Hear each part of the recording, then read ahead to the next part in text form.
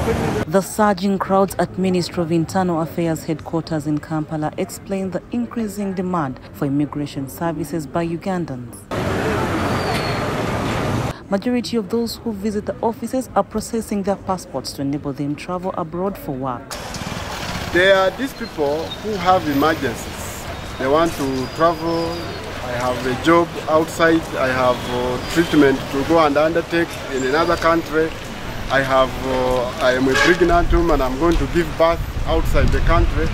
So those ones also come and uh, create lines there, but we try to help them. Despite existing immigration region offices in different parts of the country, many people prefer to process their passports at the headquarters in Kampala with hope that services are faster. Passports done in Mbarara are as good as those done in headquarters.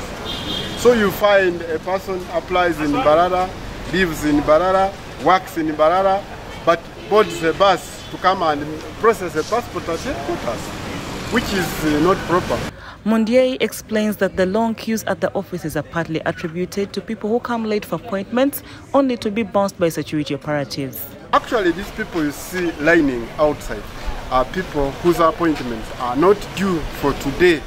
That is one. But uh, most importantly, I wanted to check who has appointment and is held outside there so that he could be allowed in but I did not find even one. Others travel from far, yet they can access the same services from regional offices.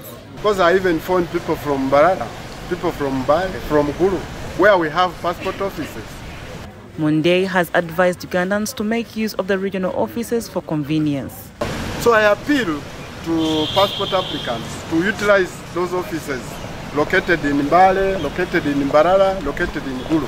As I talk now, Gulu offices are empty. Some of the people we meet at the Ministry of Internal Affairs explain their experience. You see, that is how we create life here.